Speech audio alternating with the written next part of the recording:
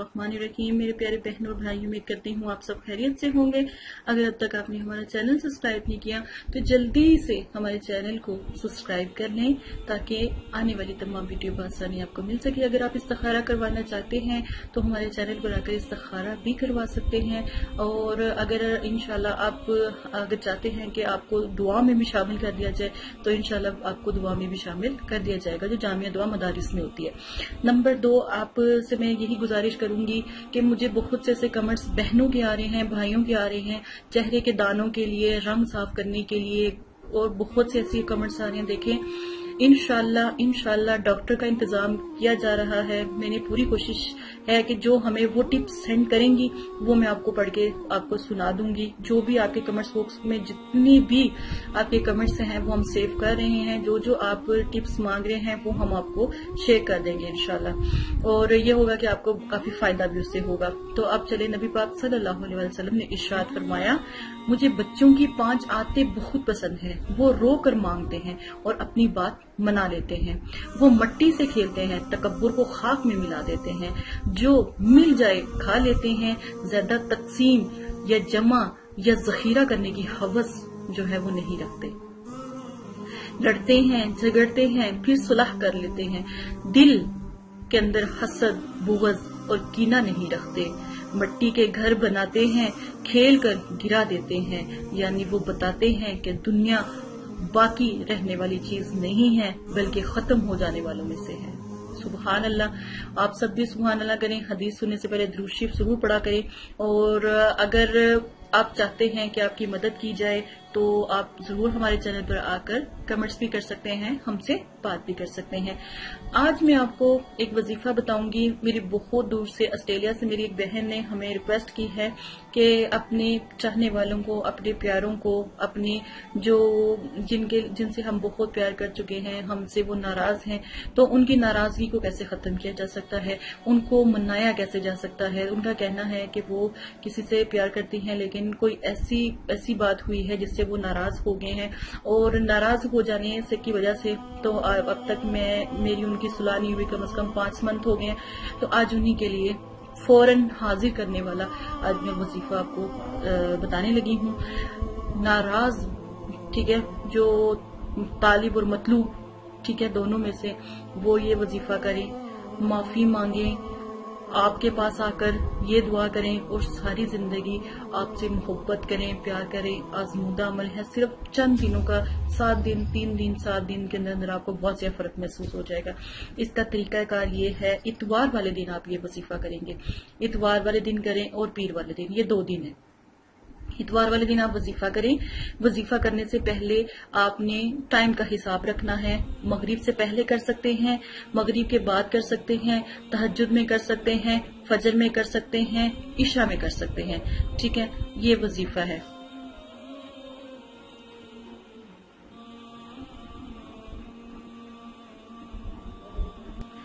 ایک بات یاد رکھیں، وظیفوں کی اپنی ایک طاقت ہے، اپنی ایک رحمت ہے۔ ڈاکٹروں کے پاس بھی چلے جائیں، وہ بھی کہتے ہیں کہ ہم میڈیسن کریں اللہ سے دعا کریں۔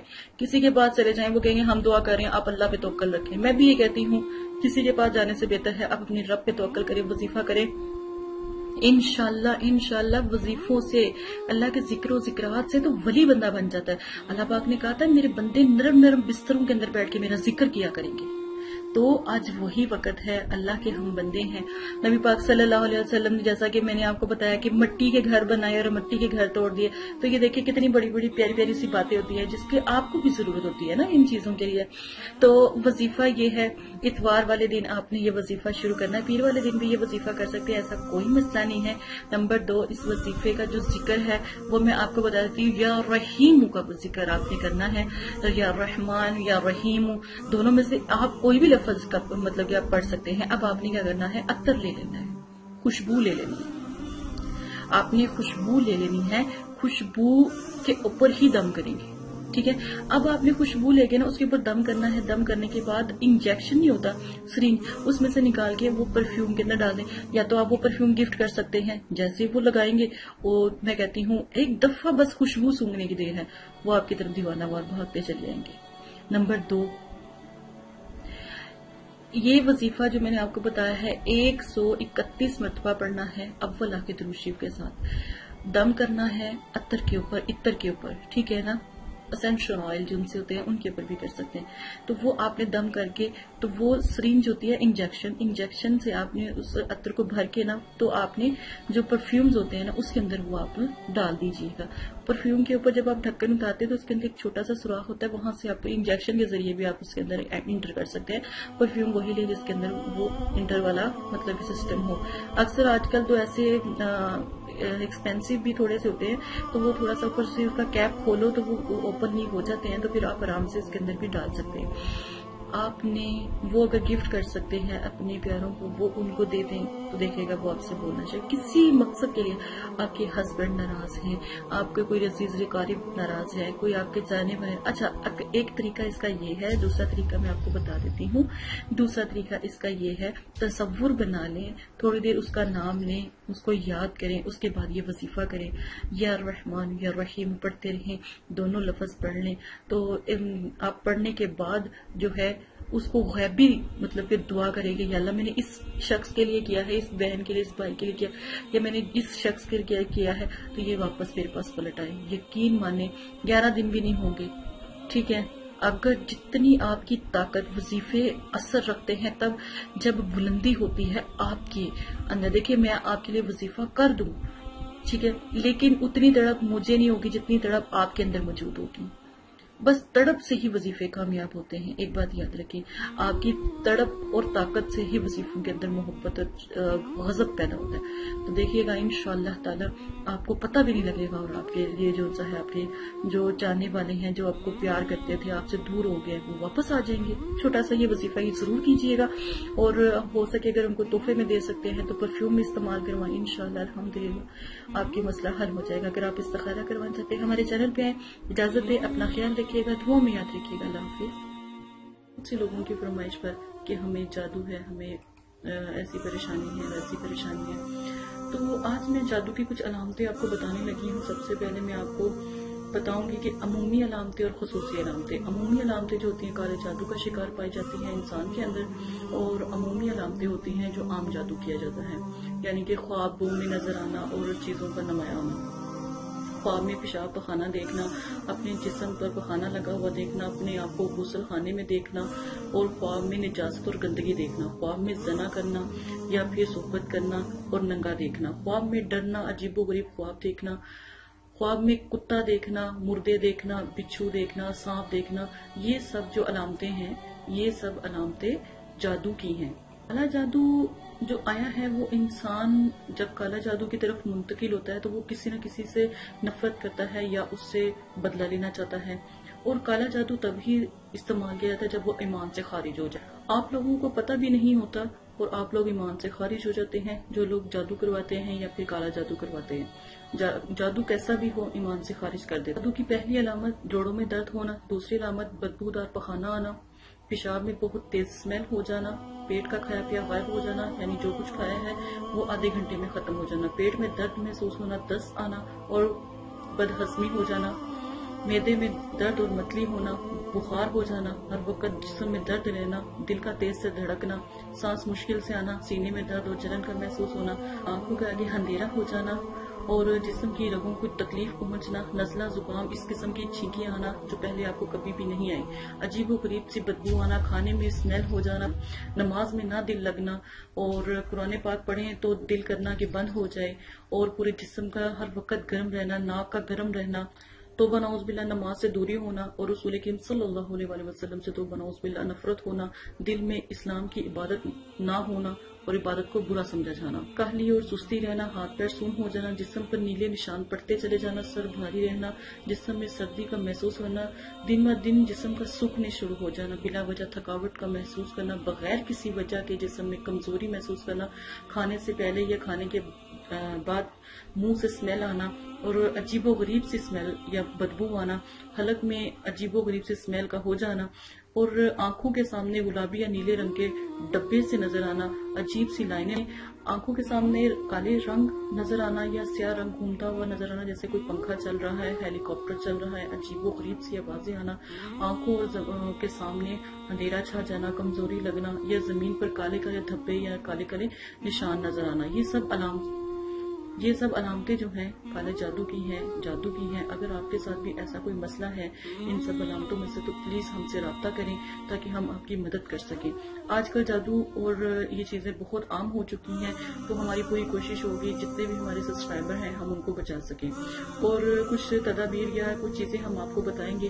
انشاءاللہ اللہ کے حکم سے اگر آپ کے ساتھ یہ سب ہو رہا ہے، کاروبار میں بندش آ رہی ہے، گھر میں ناچاکی ہو رہی ہے، لڑائی ہو رہی ہے، جھگڑے ہو رہے ہیں، کہیں بچے بدتمیز ہو رہے ہیں۔ کہیں والدین کا احترام نہیں ہو رہا۔ کچھ بھی ایسا ہو، چھوٹی سے چھوٹی بھی پریشانی آپ کو لاحق ہو تو ہمارے چینل پر اگر سبسکرائب کر کے ہم سے بات کر سکتے ہیں۔ جب کسی پر جادو ہو تو بدبو آنے آنا شروع ہو جاتی ہے، بے سکونی محسوس شروع ہو جاتی ہے، دل میں گھبراہٹ ہوتی ہے، ڈر آتا ہے، خوف آتا ہے اور نفرتیں پیدا ہونے لگ جاتی ہیں، اذان سے چڑچڑا پن ہونے لگتا ہے، اذان کی آواز سے گھبراہٹ ہونے لگتی ہے۔ قرآن پاک پڑھنے یا سننے میں بھی پریشانی ہوتی ہے جسم میں درد شروع ہو جاتا ہے۔ دوائیں میڈیسن اثر کرنا چھوڑ دیتی ہیں یا کسی بھی قسم کی دوائی آپ کھاتے ہیں تو کوئی اثر نہیں ہوتا۔ ہر کام میں جلدی ہو جانا ہر کام کی جلدی ہونے کی آرزو کرنا، کوشش کرنا۔ دکان پہ اگر کوئی چیز لینے جا رہے ہیں تو انتظار کرنے سے پریشان ہونا، لڑنا، جھگڑنا یا فساد کرنا اور بے چینی محسوس کرنا، انتظار نہ کرنا، جسم میں کیڑے سے کاٹنا۔ جب غور کرو تو کچھ بھی نہ نظر آنا۔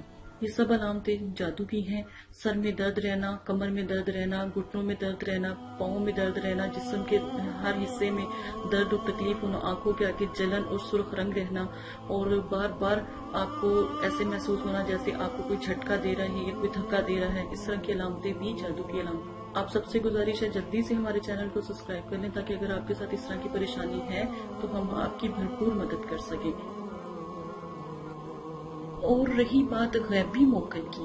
تو آج میں آپ کو غیبی موکل کے بارے میں بھی بتا دیتی ہوں۔ عمل آپ نے کچھ بھی نہیں کرنا ہوتا، آپ کو ایک ریکارڈنگ دی جائے گی، وہ آپ نے سننی ہے۔ اور تین سے سات دن میں موکلین کا آنا جانا شروع ہو جاتا ہے، خواب میں آنا جانا شروع ہو جاتا ہے۔ پھر آپ کے آس پاس ایسے لگتا ہے جیسے کوئی نہ کوئی روحانیت ظاہر ہو رہی ہے۔ غیبی موکل کا یہ عمل ہے۔ غیبی عمل، موکل کے عمل میں پہلے آپ کو استخارہ کروانا پڑتا ہے۔ پھر ہم آپ کی طرف موکل کو بھیجتے ہیں۔ پڑھائی ہم کرتے ہیں، موکل آپ کی طرف حاضر ہوتے ہیں۔ ٹھیک ہے؟ آپ کو ریکارڈنگ دی جاتی ہے، وہ آپ سنتے ہیں اور الحمدللہ جو ہے مقلین کی حاضری ہونا شروع ہوتی ہے۔ فائدہ اس کا یہ ہے کہ آپ کا روحانیت میں بھرپور مدد کرتے ہیں، آپ کے ہر کام میں مدد کرتے ہیں، چھوٹے سے چھوٹے کام میں آپ کی مدد کرتے ہیں۔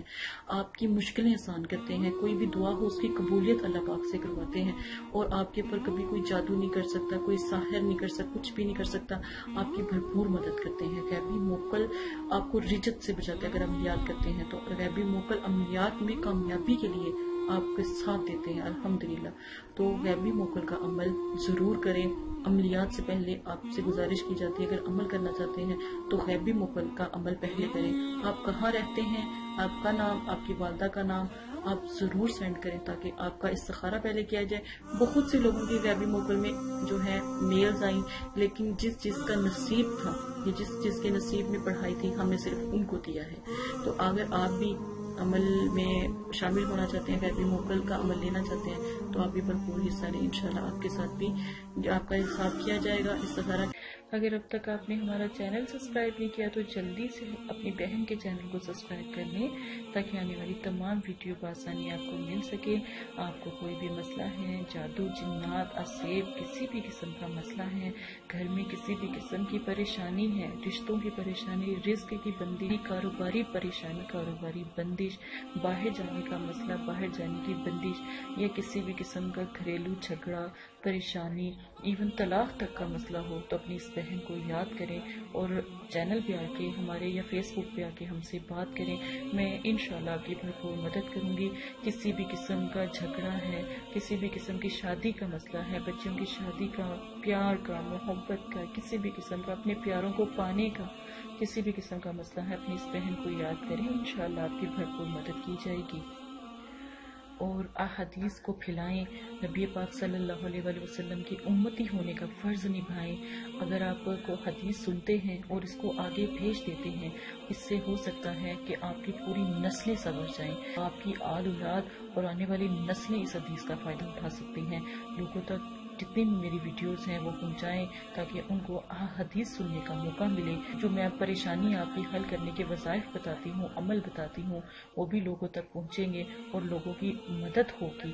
اور ایک انسان کی جان بچانا یا پریشان حال، ایک انسان کی پریشانی کو ختم کرنا ایسے ہیں جیسے پوری دنیا کی خلقت کی پریشانی کو ختم کرنے کے برابر۔ جزاک اللہ خیرہ